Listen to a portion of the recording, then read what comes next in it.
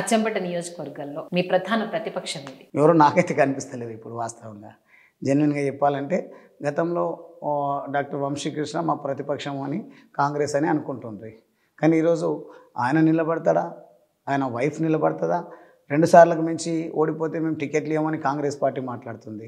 మళ్ళీ ఇంక ఇప్పుడు ఎవరికి టికెట్ ఇస్తారు? ఎవరు నిలబడతారు అనేది అయితే క్లారిటీ లేదు. అంకిత భావంతో డెడికేటెడ్ పాలిటిక్స్ అయితే వాళ్ళు చేయడం లేదు. నేను డెడికేటెడ్ పాలిటిక్స్ చేస్తూ ఉన్నా కాబట్టి నేనే కనిపిస్తున్న ప్రజలకు అనేది మాత్రం నా విశ్వాసం.